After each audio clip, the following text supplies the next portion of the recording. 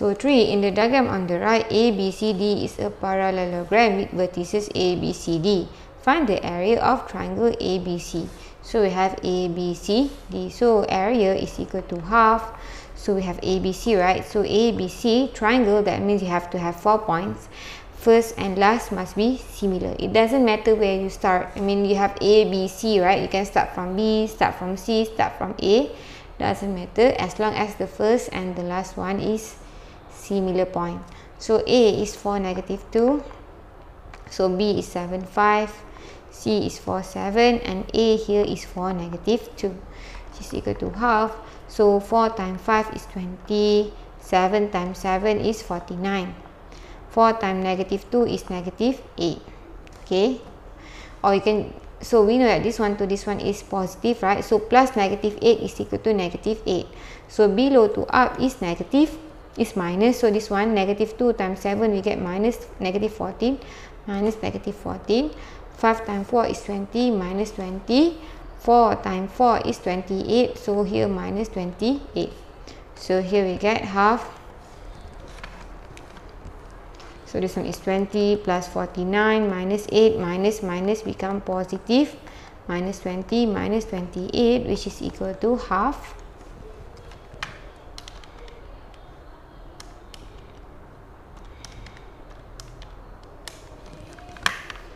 27. So half 27, 27 divided by 2, we get 13.5 units square. Or you can also write 13 1 over 2 units square. So it's the same thing basically. Alright. So here, ABC, area ABC is equal to 13 1 over 2 units square.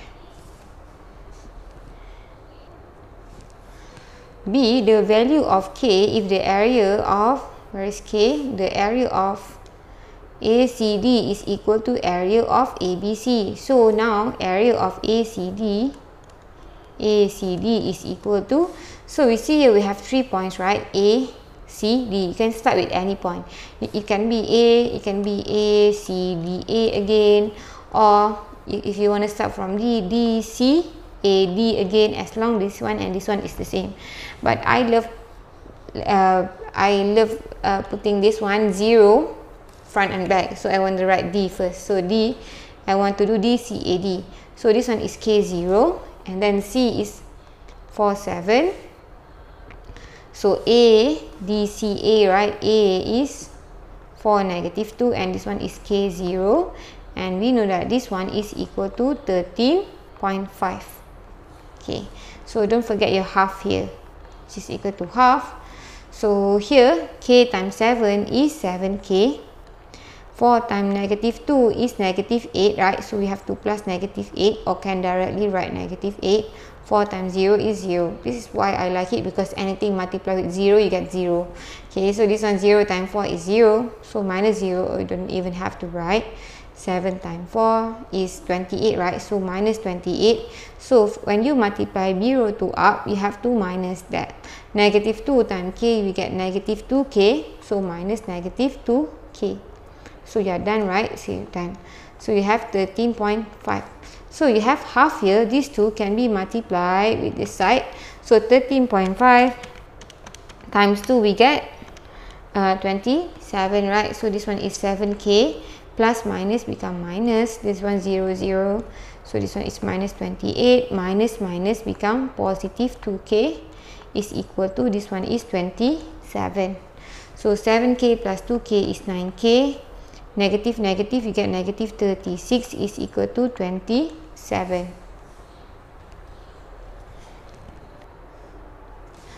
So here when you open the modulus, the value must be positive or negative. So here 9k minus 36 is equal to 27 or 9k minus 36 is equal to negative 27.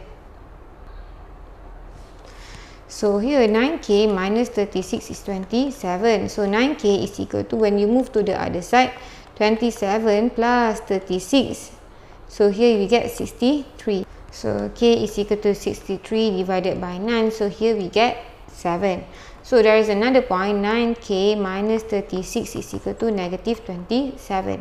So when you move to the other way 9k is equal to negative 27 plus 36 which is equal to 9. So 9k is equal to 9. k is equal to 9 divided by 9 which is equal to 1. So if you see from this one, you have k here, right?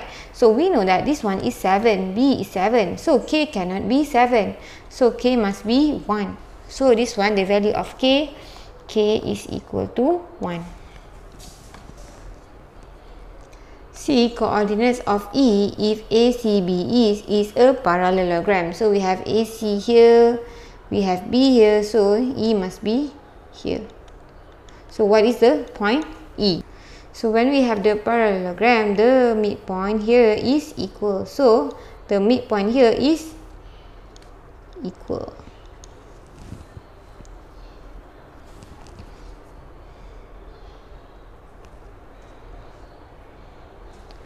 So here we can find the midpoint between A and B. So we can get this point. So midpoint of A and B. So how to get the midpoint? So x1 plus x2 divided by 2. y1 plus y2 divided by 2.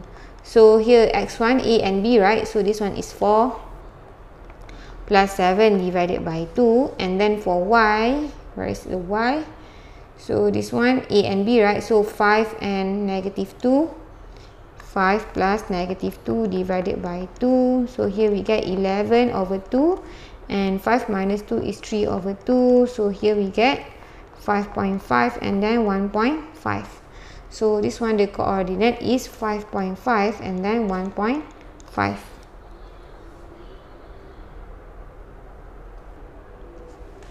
so we know that this one this one share the same midpoint. So midpoint so we know that midpoint C and E is equal to this point which is 5.5 and 1.5 5. So we can find what is our E. So if this one is X1, Y1, so we know that this one, so X1 plus this X plus this X plus X of C divided by 2 is equal to 5.5. And we know for the Y, 7.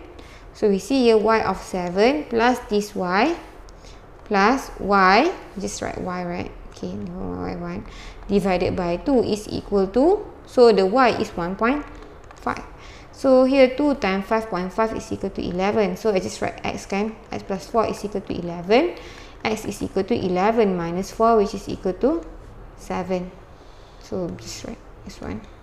Okay so this one 2 times 1.5 you get 3 7 plus y1 is equal to 3 y1 is equal to 3 minus 7 which is equal to negative 4.